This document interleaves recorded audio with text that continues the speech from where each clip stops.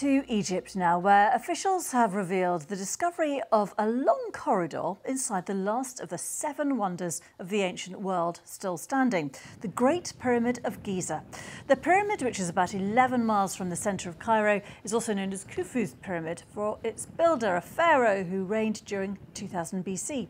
Well, this is the corridor. You can see it looks a bit like a chamber, and it was found by the Scan Pyramids Project, which is an international programme that uses scans to look at unexplored sections of the ancient structure. By inserting a camera through one of the openings underneath the entrance, this scan revealed the existence of a corridor 9 metres long and 2.10 metres wide. With a chevron ceiling, most likely this corridor was built to relieve the weight of the pyramid. So we're told this corridor was built, as we heard there, to relieve the weight of the pyramid, but at this point, its true function is still unknown. Corridors like these do often lead to further archaeological discoveries, as Egyptian archaeologist Zahi Hawass explains. If we say that this tunnel is protecting or is holding a stones above something, we cannot say it's a corridor at all. There is no way there is a corridor will be here. Because down seven meters, there is another corridor.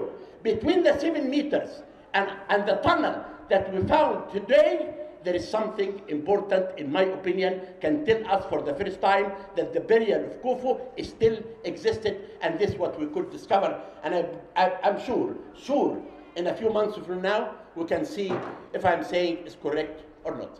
But again, we are in front of a major important discovery.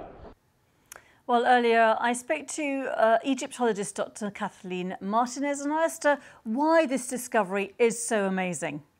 I think it's one of the most exciting discoveries uh, in this year, and uh, it can bring great, great news about many, many things of the pyramid that we don't know.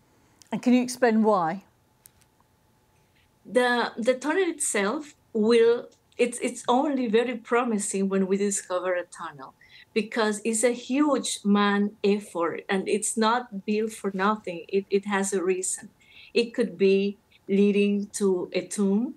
It could be built uh, as a process of building the, the pyramids and we don't know much about the construction of the pyramids so it's a great discovery. It could be built to hide treasures. So there's a, a lot of um, promising discoveries connected to the discovery of this tunnel. And, and why might it help reveal whether the burial chamber of King Khufu still existed?